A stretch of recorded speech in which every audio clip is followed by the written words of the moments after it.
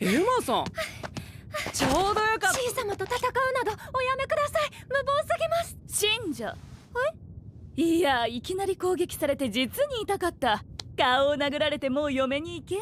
いきなり攻撃してきたのはそっちだろ。でも C 様は無敵と呼ばれる上位流で。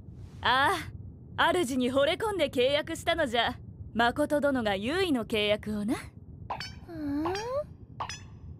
ほれ戦いで剥がれた鱗じゃ。まだ信じられぬか？あこれ本物だわ。